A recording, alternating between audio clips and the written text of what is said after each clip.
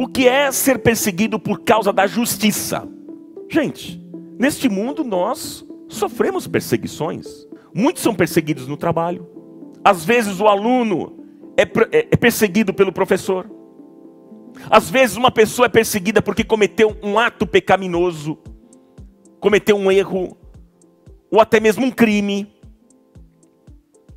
Mas o texto aqui não diz que a felicidade é para todos que são perseguidos. Não. É somente para aqueles que sofrem perseguições por causa da justiça. Muitos homens nas Escrituras, na Bíblia, sofreram perseguições por causa da justiça. Mas observem que eles foram perseguidos por causa da justiça de Deus e não por causa da justiça dos homens. Alguns exemplos. No Velho Testamento, José, ele foi perseguido porque ele não quis adulterar com a mulher de Potifar. E em nome da justiça e fidelidade a Deus, ele foi lançado na cadeia. Outro exemplo, Daniel. Amigos, Daniel foi perseguido porque ele não aceitou se dobrar diante de outros deuses na Babilônia. Daniel só tinha um Deus a quem ele amava e servia. E por causa disso, Daniel foi lançado na cova dos leões.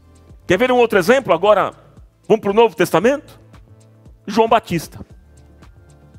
João Batista, no Novo Testamento, ele foi perseguido porque ele denunciou o pecado do rei Herodes, que estava adulterando com a própria cunhada.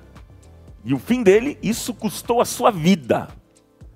Estes homens que eu mencionei aqui, do Velho Testamento, do Novo Testamento, e tem mais outros da atualidade, como Martin Luther King, Dietrich Bonhoeffer. Estes homens e outros mais foram perseguidos por causa da justiça. E Jesus diz que estas pessoas são bem-aventuradas. o próprio Paulo, apóstolo, quando escreveu ao seu filho Timóteo, ele declara a seguinte verdade sobre a vida cristã: ele diz o seguinte: quem quiser viver justa e piedosamente padecerá perseguições. 2 Timóteo 3,12. Se você quer realmente viver uma vida justa diante de Deus, se você quer ser um crente de verdade, não esses crentes meia boca, mas você quer ser um crente honesto, um crente de verdade, fazer sempre a vontade do Senhor. Se você quer ter uma vida santa no altar de Deus, quero dizer para vocês e vou te dar uma notícia: você vai sofrer perseguições. Não tem como escapar. E eu vou dar aqui alguns exemplos de como que nos dias de hoje nós somos perseguidos. Você quer ver? Primeiro exemplo: perseguição através de leis injustas. Olha outro exemplo: perseguição pelo estilo de vida. As pessoas que desejam viver essas verdades do Evangelho, elas são vistas, sabe como? Como descontextualizadas, como quadradas, como bobas. As pessoas dizem isso é atrasado. E são perseguidos por quê? Porque não se embriagam. Porque não se drogam.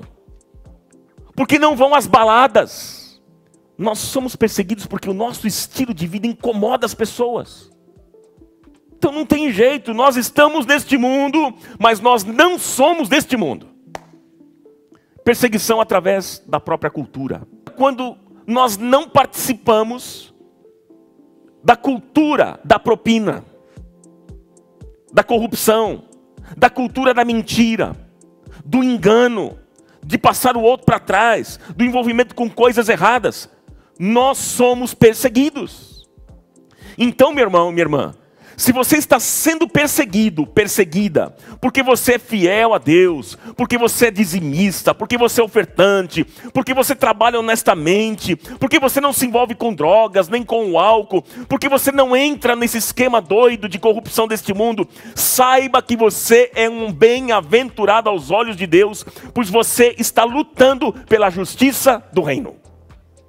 Você é feliz aos olhos do Senhor. De repente, para as pessoas aí fora, você não é feliz. Você é um careta e quadrado, atrasado. Mas aos olhos de Deus, você é feliz. Qual é a bênção dos que são perseguidos? É que deles é o reino dos céus. Existe uma diferença entre o reino de Deus e o reino dos céus. Há uma diferença. Quando a Bíblia fala do reino de Deus e o reino dos céus. O reino de Deus já chegou entre nós. Já. O reino de Deus foi implantado na terra através da morte e da ressurreição de Cristo. Veja, quando Pedro foi crucificado de cabeça para baixo, a única recompensa que ele podia esperar naquela hora era o reino dos céus. O apóstolo Paulo, quando foi decapitado, a única bênção que ele poderia esperar naquele momento, a recompensa que ele poderia ter naquele momento era o reino dos céus. Nós não sabemos como vai terminar a nossa vida, nós só sabemos de uma coisa: que nós vamos padecer perseguições. Isso sim, mas há uma promessa para o nosso futuro, gente. O céu é um novo estado, um novo lugar, um novo momento na história de vida de todo aquele que crê em Jesus Cristo, queridos.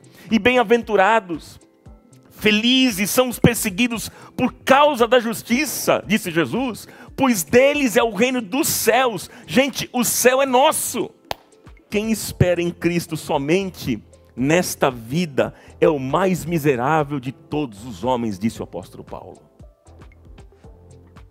Nosso lar celestial está à nossa espera. Nós vamos para lá, para lá. E eu vou encontrar você, e você vai me encontrar. E a gente vai estar junto diante do Rei dos Reis, do Senhor dos Senhores. E vamos nos abraçar, e vamos nos alegrar na presença deste Rei.